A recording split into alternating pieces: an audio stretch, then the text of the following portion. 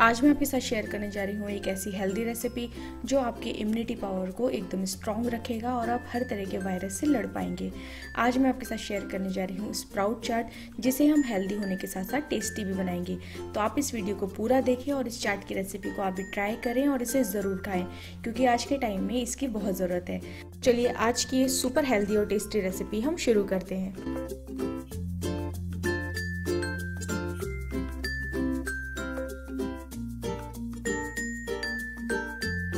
New recipes के लिए channel को सब्सक्राइब करें, साथ ही बेल आइकन पे भी ज़रूर क्लिक करें, उससे आपको मेरी वीडियोस के सारे नोटिफिकेशन सबसे पहले मिलेंगे। स्प्राउट चाट बनाने के लिए सबसे पहले हम एक बोल में काले चने डाल देंगे तो स्प्राउटेड काले चने ले लें, और काले चने बहुत ही ज़्यादा फ़ायदेमंद होते हैं। इसमें होता है आयरन फास्फोरस जो हमारी हीमोग्लोबिन को बढ़ाता है। और जो हमारे लिए बहुत ही ज़्यादा अच्छा है तो काले चने ले लें। काले चने अगर आप घर पे ही स्प्राउट बनाना चाहते हैं तो एक रात इसे पानी में भिगा दें पूरी रात, फिर इसे साफ़ कपड़े में बाँध कर एक से दो दिन के लिए कहीं टांग दें, उससे आपके स्प्राउट बन जाएँगे। इसी के साथ मैंने यहाँ पे ये मूँग दाल ली है तो ये ग्रीन वाली मूंग दाल है, जिसे मैंने स्प्राउट किया हुआ है।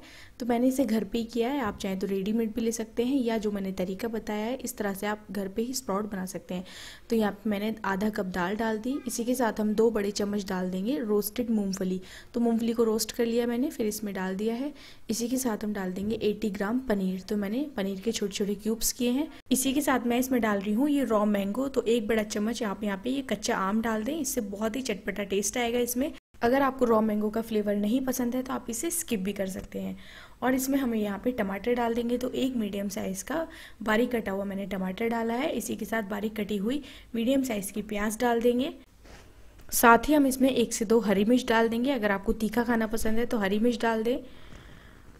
और हरा धनिया डाल देंगे, दो बड़े चम्मच तो बारीक कटा हुआ हरा धनिया डालें। हरा धनिया ज़रूर यूज़ करें, इससे बहुत ही अच्छा टेस्ट आएगा। इसी के साथ एक चौथाई छोटा चम्मच यहाँ पे काली मिर्च का पाउडर डाल देंगे। बहुत ज़्यादा ना डालें, बस थोड़ा सा ही डालना है। और आधा छोटा चम्मच डाल देंगे चाट मसाला।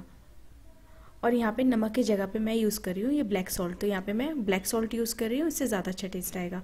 तो आधा छोटा चम्मच मैंने काला नमक डाला है। और इसको और भी ज़्यादा यमी बनाने के लिए मैं इसमें यूज़ कर रही हूँ दो बड़े चम्मच लेमन जूस तो यहाँ पे नींबू का रस डाल दें। तो हमने इसमें सारी चीज़ें अच्छे से ऐड कर दी हैं। अब हम इसे अच्छे से मिक्स कर लेंगे। तो इसे अच्छे से मिला दें स्पून से। और आप देख ही सकते हैं देखने में बहुत ही ज़्यादा टेस्टी लग रहा है। और आप चाहें तो इसे वेट लॉस में भी यूज़ कर सकते हैं। वेट लॉस में भी एकदम परफेक्ट रेसिपी है ये। अगर आप वेट लॉस कर रहे हैं तो इस रेसिपी को ट्राई कर सकते हैं आप। आप चाहें तो अगर कुछ ना खाना चाहें तो सिर्फ़ इसे बनाएँ और फिर इसे फ्रिज में रख के पूरा दिन खाएँ। और ये आपके वेट लॉस में बहुत ज़्यादा हेल्प करेगा। तो मैंने इसे हल्का सा टॉस भी कर लिया है, ताकि ये अच्छे से मिक्स हो जाए। तो यहाँ पे लग रही है ना हमारी स्प्राउट चाट एकदम टेस्टी। तो यहाँ पे इसे हम सर्व कर लेते हैं और इसे आप चाहें तो वेट लॉस में खाएँ और इम्यूनिटी बूस्टर तो ये है ही, बहुत ही ज़्यादा हेल्दी है ये। और अगर आपका कुछ हेल्दी खाने का मन कर रहा है तो भी आप इसे ट्राई कर सकते हैं। अगर आपको आज की रेसिपी अच्छी लगी हो तो इस वीडियो को लाइक करें और इसे शेयर करना बिल्कुल ना भूलें। और चैनल से जुड़े रहने के लिए सब्सक्राइब ज़रूर करें। तो फिर मिलते हैं एक और नई रेसिपी के साथ।